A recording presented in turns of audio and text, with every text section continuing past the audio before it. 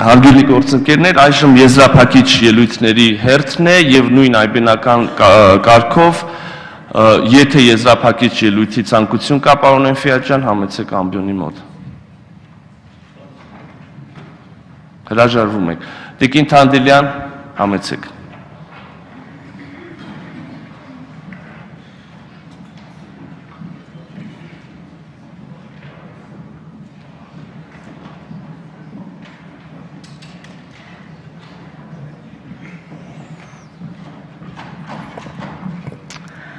Հարգելի ազգային ժողովի նախագահ, հարգելի գործընկերներ։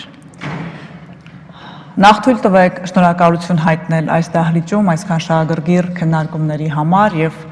հատկապես իմ տեխնացության վերաբերյալ հնչած հարցերի, հարցադրումների, ելույթների կապակցությամբ ինձ համար պատիվ է արժանանալ քննարկման եւ դիտարկվել որպես մրցակցային տեխնացու, ում ընտրելու համար այսքան հարգարժան падգամավորներ ելույթ են ունենում, փորձում են վիճարկել առավելություններից խոսել եւ թերություններից։ Դա ինձ համար պատիվ է, որովհետեւ համարում եմ, որ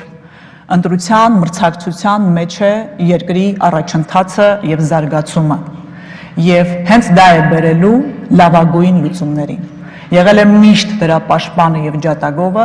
եւ ես ուրախ եմ, որ իմ տեխնացությամբ հնարավորություն եմ տվել այս դահլիճում խոսել առավելություններից, խոսել բացողումներից, խոսել մրցակցությունից, որովհետեւ ես գալիս եմ մի աշխարից, որտեղ մրցակցության միջոցով ընտրվում են լավագույնները։ Ես ցանկություն ունեի անդրադառնալ տարբեր ելույթներում եւ հարցադրումներում հնչած մտքերին, բայց ձեռնպահ կմնամ դա անելուց, պարոն Մարուկյանը որոշակի շեշտադրումներ արեց,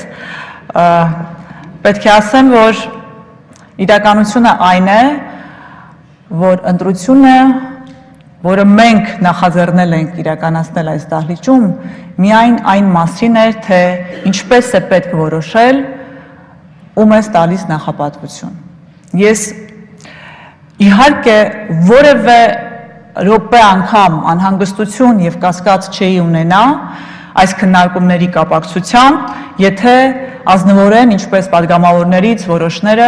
Տիկին Պողոսյանը ակնհայտորեն շեշտեց, որ իր նախընտրությունը եւ այնուամենայնիվ ամեն բարագայում կլիներ Բարգավաճ Հայաստան կուսակցության ներկայացուցիչը եւ դա բնական է եւ ինձ շատ ուրախ եմ դա լսել եւ իմանալ եւ ես կուզենայի որ հենց պատգամավորներից յուրաքանչյուրը հնարավորություն ունենար իր կարծիքը արտահայտել իր ուրույն ընտրության միջոցով։ Ինչու՞։ Որովհետև հարգելի քաղաքական մեծամասնություն ձեզ ընտրել է մեր երկրի 70% բնակչությունից ավելին եւ այդ մեկ օրը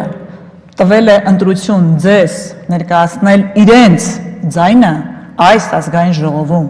այն 8%-ն է ընտրել Բարգավաճ Հայաստան կուսակցությանը եւ այն 14%-ը դուք նույնիսկ չգիտեք թե ում կընտրեր երկու ընդդիմադիր տեխնացուների միջև Եվ հետևաբար ես ուղակի